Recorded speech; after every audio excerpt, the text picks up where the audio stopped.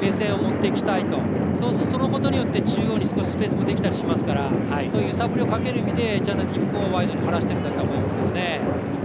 でそうやって仕掛ける場面があるということであればチャナティップをワイドに置く意味があるわけですね。いやその通りだと思いますね。遠藤柔らかいタッチ。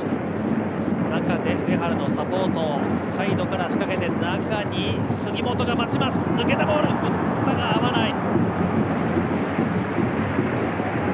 自陣からうまくボール動かしながら左サイドにできた大きなスペース使って。